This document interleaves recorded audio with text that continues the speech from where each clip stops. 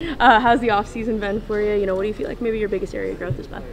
Um, I think my biggest area of growth in the offseason has just been the leadership. Uh, stepping into that role with graduating uh, Troup and, you know, having a couple older girls leave, just uh, trying to help out Frankie in that aspect of things and being somebody that all of our newcomers can rely on. Uh, having, I think, seven, five freshmen, uh, two transfers. So, again, just being somebody that they can come to with questions, whatever they need. Um, and just helping Frankie out in that leadership role. You know, your freshman season, what was your biggest takeaway from that? Obviously, I know it's a lot coming on campus and being a freshman, but the success you had, you know, what did you take away from that?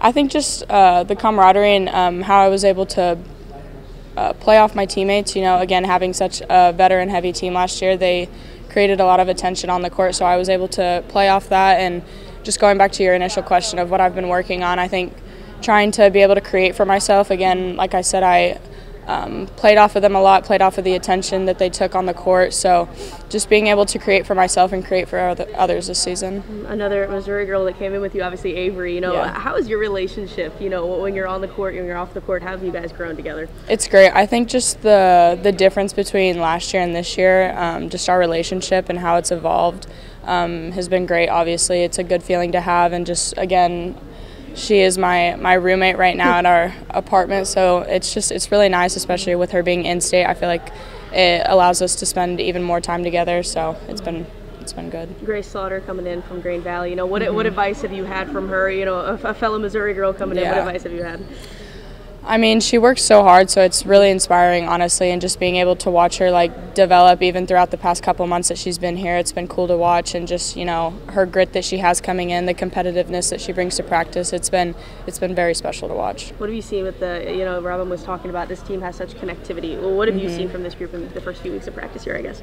I think again, just the competitiveness that we've been able to bring into practice. I've never been able to be a part of because usually I feel like in girls sports that that can be taken really personally. And with us i think we just build off of each other and we take it you know take the good aspects of it and we're able to if things maybe do get out of hand leave it in between the court lines. And once we get back into the locker room after practice we're all making jokes we're all going out to dinner whatever that looks like. Um, so it's it's been really nice to kind of experience that change of change of pace I'm sure you guys are excited to have uh, Frankie back for another year. Of you course. know, How can you not be? What does she bring to the court? You know, I'm curious what we don't see. You know, Yeah. what does she bring to you guys? I mean, obviously, you guys see what does take place on the court and just her skill set that she's able to show off. But outside of the court, I mean, initially coming in for me, she was the first person to reach out and um, has always been a crutch that I can lean on on and off the court and always giving me advice, always coming to me maybe after games that weren't so great. And again, just that person that I could always rely on.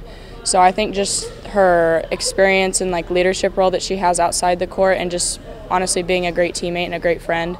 Um, I always like to tell her that she's the big sister that I never got to have. So it's really nice to have her back for another year and just another crush that I can lean on. I saw it's Haley Troup hanging around. You know, have her back. You know, it's a GA now. It's Yeah. Still, what's it like to still have that leadership around? I loved Troup. I mean, only getting to have a year with her last year, I felt like our relationship was really strong and just I was really able to bond with her.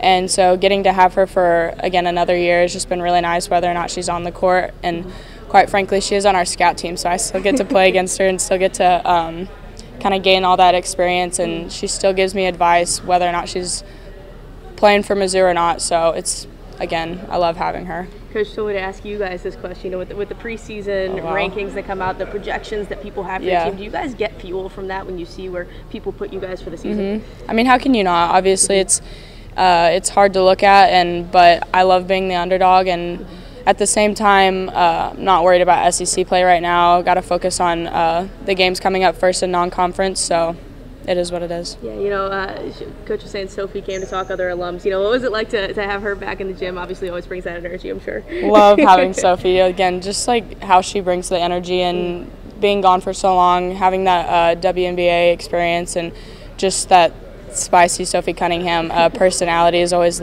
I love having her here, and just the um, the advice that she gives us, and so it's been really nice. Thanks for your time. Appreciate it. Yeah, thank you. Question, I mean,